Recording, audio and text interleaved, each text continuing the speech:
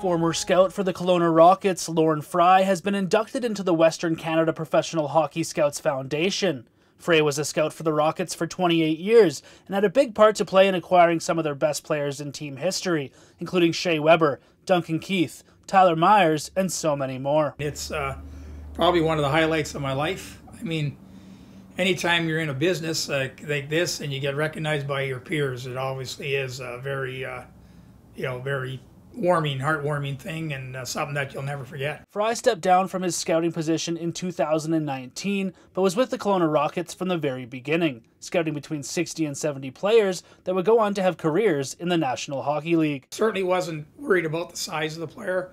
Uh, I think uh, my number one aspect was their ability, uh, their natural instincts to play the game, to think the game.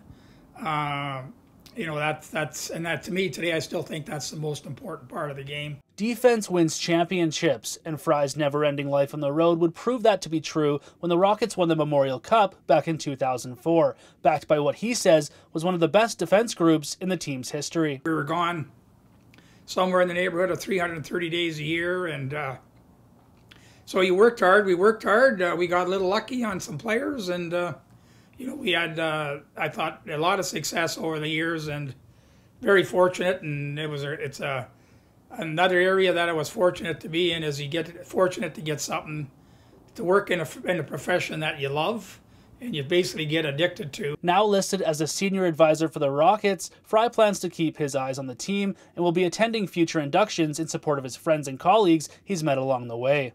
I'm Braden Ursel in Kelowna for Castanet.